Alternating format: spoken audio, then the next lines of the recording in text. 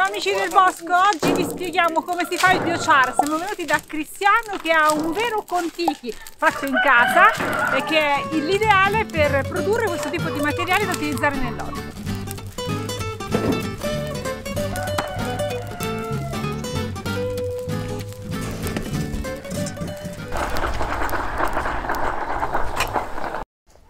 Il biochar tecnicamente si definisce come il prodotto di una decomposizione termochimica in assenza di ossigeno, tecnicamente una pirolisi.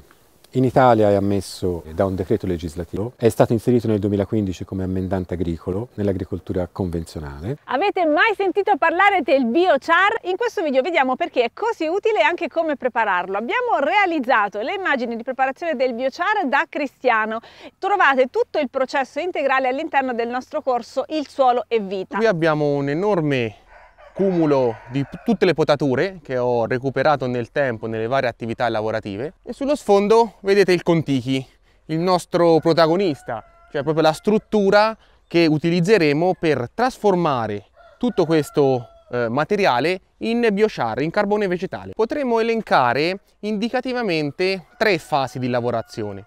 Una fase di accensione del contichi, una fase di processo, di maturazione e infine eh, lo spegnimento, che poi ci sarà anche un'altra fase che è quella del caricamento che viene effettuata prima proprio del suo utilizzo. Il processo di carbonizzazione può essere svolto con vari metodi e con varie tecnologie. Io ho scelto il Contiki che è un eh, sistema eh, ideato dall'istituto Itaca e grazie anche agli studi dell'associazione ICAR eh, risulta la maniera più efficiente e più controllabile. Il biochar ci permetterà come vedremo di andare a migliorare eh, la struttura del suolo sia da un punto di vista fisico sia da un punto di vista chimico che da un punto di vista biologico. Praticamente è una struttura in ferro, è un tronco di piramide con una base minore di un metro per un metro, un'altezza di un metro e una base maggiore di 3 metri per 3 metri.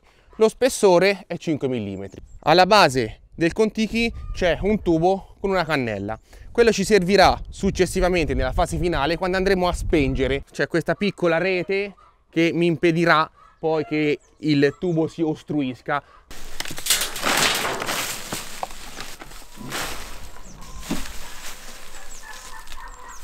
Abbiamo acceso il fuoco e Gradualmente adesso andremo a formare uno strato di brace molto importante perché sarà quello poi che produrrà il calore che carbonizzerà tutto il materiale. Ovviamente questo è un classico fuoco, però successivamente non vedremo fiamma perché andremo a operare quella che è una combustione con una minima quantità di ossigeno, altrimenti eh, promuoveremo una combustione classica. Invece noi andremo a immagazzinare il carbonio che sarebbe finito in atmosfera proprio sotto forma di biochar. In tutti i casi comunque fa sempre carbon sequestration, perché una volta che il biochar entra all'interno del suolo è una matrice altamente recalcitrante, quindi non viene degradata dai microrganismi del suolo e quindi rimane lì è carbonio che è immobilizzato nel suolo per centinaia, addirittura c'è chi dice anche migliaia di anni. Controlliamo la temperatura con un termoscanner portatile. Praticamente il Contichi adesso è a 45 gradi e il letto di brace è già arrivato ai 315 gradi. Fondamentale in questo tipo di processo è il controllo delle temperature. La struttura ci permette di controllare la quantità di ossigeno, mentre le temperature di processo variano dai 400 ai 600 gradi indicativamente. Sarà un processo che dura poco tempo e ad alte temperature. Mentre se ricordate il sistema con cui venivano fatte le carbonaie per produrre appunto carbone da bruciare, venivano fatti in tempi molto più lunghi e a temperature più basse. Questo eh, Contichi ho calcolato possa carbonizzare in un unico ciclo un metro cubo di prodotto finito. L'arco temporale è di circa 4 ore di tempo. Il fuoco ancora sta andando avanti, il letto di brace sta diventando sempre più importante e anche le temperature si stanno eh, alzando. Quando vediamo questo imbiancamento delle frasche significa che eh, stiamo andando verso la combustione completa. Quindi è il momento di aggiungere eh, altro materiale in modo tale da non favorire la fiamma Adesso aspettiamo che le fiamme abbiano bruciato, quasi bruciato il primo strato, che quindi lo abbiano eh, imbiancato e successivamente procederemo proprio con eh, la stratificazione di altre ramaglie e di materiale fine sempre per controllare le fiamme e promuovere appunto il processo di formazione di biochar. Cristiano, siamo sicuri che così non stiamo immettendo troppa nitride carbonica in atmosfera? In realtà è una eh, commistione tra una combustione e una pirolisi. Ovviamente vedendo fiamma libera è evidente che abbiamo una quantità di ossigeno tale da promuovere la combustione. Però stratificando il eh, materiale sotto la quantità di ossigeno cala drasticamente, si avvicina molto più a quella che è una pirolisi, quindi una combustione con assenza di ossigeno, anche perché poi avremo la formazione appunto di carbone vegetale e tutto quel carbone che noi avremo alla fine del processo sarà eh, tutta anidride carbonica che non finirà in atmosfera ma verrà immagazzinata sotto forma di biosangue. E poi la mettiamo sottoterra e quanto tempo rimane là? Sempre. La, il, il, grande vantaggio è che il biochar è appunto una struttura del carbonio amorfa che è eh, un semi inerte, quindi si degrada in tempi lunghissimi. Questo è un processo molto utile alle nostre pratiche di rigenerazione agricola e sicuramente molto funzionale. Quello che si potrebbe fare di diverso è eh, preparare del materiale più omogeneo, ovvero eh, tagliato più sottile, tagliato più fine, del cippato sarebbe perfetto e avere comunque sempre eh, della materia fine da poter utilizzare per abbassare la fiamma. Come vedete adesso siamo proprio entrati ufficialmente nella fase di produzione biochar. La fiamma è praticamente scomparsa e adesso il calore che si è formato con un letto di brace molto molto importante andrà scaldando, imbiancando tutte le frasche che adesso continueremo ad aggiungere fino a che poi decideremo di interrompere il processo e quindi eseguire la fase di spegnimento. Controlliamo il nostro cumulo, come vedete è già visibile in superficie del carbone di paglia e di fieno, movimentiamo per controllare un attimo il cumulo, ovviamente si sviluppa un po' di fumo ma principalmente è vapore acqueo e anidride carbonica Generalmente in campagna eh, tutte le potature vengono generalmente eh, ammucchiate e bruciate. Nel migliore dei casi vengono andanate e poi trinciate, che è già una pratica molto migliore, anche perché rilasci tutta quella sostanza organica nel terreno.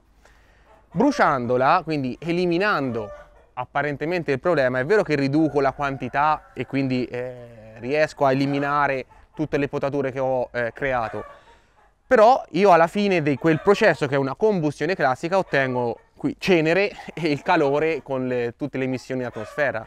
La differenza principale è che qui alla fine del processo io ho il carbone. Può eh, avvenire anche che si formi una piccola quantità di cenere, ma il grosso del processo mi forma biochar, carbone che riutilizzerò come ammendante, fertilizzante e rigenerante del suolo in maniera permanente perché quel carbone resterà sul suolo per secoli se non per millenni. La carbonizzazione è quasi terminata, l'ultima fase consiste nello spegnimento e utilizzeremo l'acqua che si introduce dentro il contenitore dal basso. Questa tecnica di far entrare l'acqua dal basso, quindi spegnere il fuoco non buttando l'acqua da sopra, riduce ulteriormente le emissioni. Il nostro cumulo è diventato molto omogeneo e anche di una colorazione biancastra, che è il momento in cui o continuiamo il processo aggiungendo altro materiale o come in questo caso andiamo a spingerlo. Quindi collegheremo il tubo dell'acqua collegata al pozzo alla base del contigo.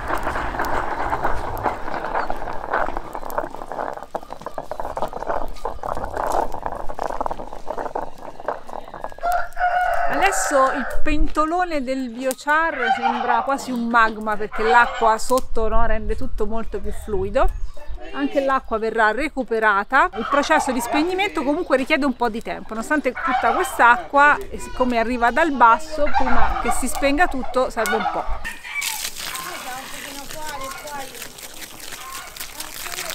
Come vedete lo spegnimento è concluso e questo è il prodotto finale. Nello specifico questo è un pezzo di legno carbonizzato e quando saremo a temperatura ambiente potremo procedere con il caricamento. Questo è molto importante per non eh, rovinare o danneggiare l'innesco che daremo di microorganismi e anche di nutrienti. La carbonizzazione è stata svolta correttamente. C'è biochar di varia granulometria che però è completamente carbonizzato quindi poi in una fase successiva, quella post caricamento e quindi quella che poi prevede la sua distribuzione nel suolo, sarà opportunamente eh, tritato e quindi poi eh, inserito nel suolo. Iniziamo ad aggiungere il teddy compost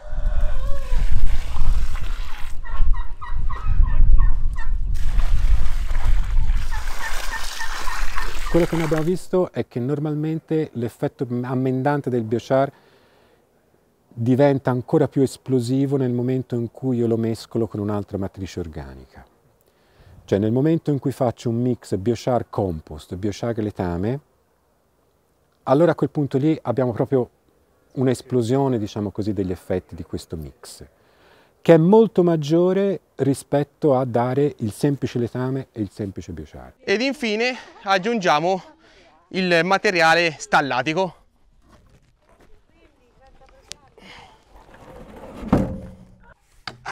e adesso omogenizzeremo il nostro cumulo il più possibile. E questa sarà un'operazione che svolgeremo tre volte al giorno per le prossime 72 ore. Se il caricamento fosse effettuato con una matrice di caricamento in rapporto 1 a 1 con il biochar sarebbero sufficienti 24 ore ma dato che diciamo abbiamo una minor quantità di innesco, anche se di grande qualità, il tempo indicato è di 72 ore di macerazione con il biochar. Dopodiché il contichi potrà essere svuotato e il biochar effettivamente utilizzato dopo diciamo un'opportuna triturazione, anche se già da quello che stiamo osservando adesso è molto omogeneo. Il biochar normalmente è considerato una nicchia, una nicchia ecologica, colonizzabile sostanzialmente da microorganismi e ci sono determinati microorganismi che si rifugiano all'interno del biochar perché colonizzano una parte del suolo che, dove lì non trovano degli antagonisti. Quindi c'è tutto un articolo che noi stiamo pubblicando in via di pubblicazione dove si fa proprio un'analisi tra gli organismi, diciamo così, predatori e quelli che sono predati e poi alla fine all'interno del biochar troviamo organismi, microorganismi, batteri, funghi che normalmente vengono predati, non troviamo i predatori. Quindi fondamentalmente sì, è una nicchia, ci esistono biochar attivati, quindi che vengono attivati con determinati microorganismi o con determinate micorrize, proprio perché tecnicamente è una nicchia ecologica pura. Consideriamo che il biochar è un, un prodotto fondamentalmente sterile, questa è un'altra cosa importante perché viene da processi tipo pirolisi da esce da 400-500 gradi, gassificazione 1200 ancora di più, quindi tecnicamente quello è un, processo, è un prodotto sterile. Sul biochar si sta facendo ricerca universitaria per capire come applicarle e quali benefici effettivamente si ottengono. Abbiamo applicato biochar da pirolisi in, una, in un vigneto in un oliveto e abbiamo fatto tutta una serie di determinazioni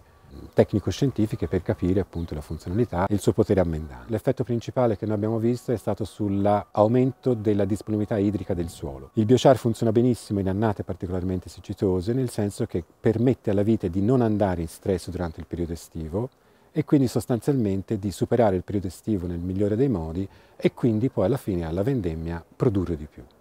Quest'anno, che è stato un anno particolarmente siccitoso e quindi ha piovuto poco nel periodo da maggio a settembre, noi abbiamo riscontrato nel confronto fra le parcelle trattate con il biochar e le parcelle del controllo un incremento di produzione del 46% in termini di uva. Il mio suggerimento è quello di andare sempre su prodotti commerciali. Prodotti commerciali o prodotti comunque che rispondono a una normativa, cioè nel senso nel momento in cui compro un biochar che è commerciabile, necessariamente quel biochar risponde alla normativa. Rispondere alla normativa vuol dire che soprattutto è un materiale non inquinante per il suolo. Va considerato una cosa fondamentale che l'ammendamento del biochar è una pratica irreversibile. Sostanzialmente bisogna essere sicurissimi che il nostro prodotto che noi diamo e noi distribuiamo al nostro suolo, dove noi ci coltiviamo e mangiamo quei prodotti lì, è un prodotto che comunque sia non inquina. Il biochar è utile su due fronti, ci aiuta a fissare carbonio nel suolo e quindi a ridurre CO2 in atmosfera e poi aiuta le nostre colture a migliorare il suolo, aumentare la biodiversità e la presenza di microorganismi. Potete approfondire all'interno del corso Il suolo e vita, vi lascio il link se volete e anche attraverso il sito dell'associazione CHAR, vi lascio anche su questo il sito dove trovate tante informazioni sulle ricerche in corso. Poi c'è da girare tutto il materiale il biochar, l'acqua e tutti gli attivatori. E vi dirò che è un'operazione abbastanza faticosa.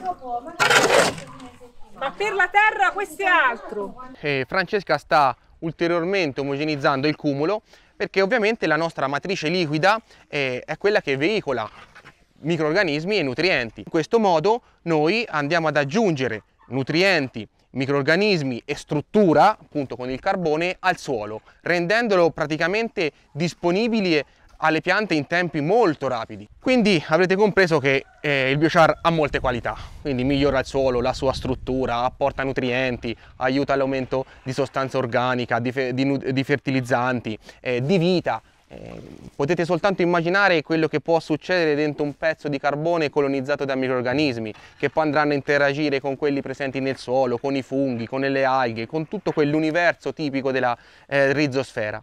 Eh, e quindi questa è una delle tecniche migliori di valorizzazione delle potature e delle biomasse opportunamente trattate e veramente è il vero oro nero questo perché in questo modo potete con un solo elemento andare a migliorare la struttura fisica, chimica e microbiologica del suolo. Grazie a Cristiano in una mattinata abbiamo prodotto un quintalone, quanto, quanto sarà Cristiano? Sarò... saremo sui 200 litri. 200 litri, 200 litri di eh, biochar. Cristiano ce l'abbiamo fatta, ce l'avevano chiesto di far vedere come si faceva il biochar, ci siamo riusciti, il nostro video racconto. Eh, adesso mi devi aiutare a ricordare a tutti che se il video gli è piaciuto devono per forza mettere Assolutamente. mi piace, mi piace piace iscrivetevi a tutti i canali, ci vediamo presto, ciao! C'è il vero, dipende,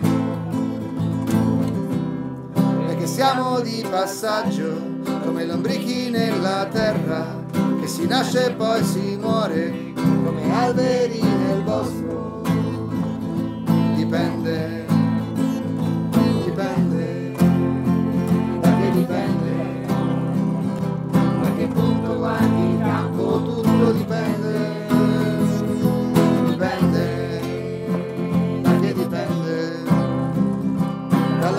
della vanga tutto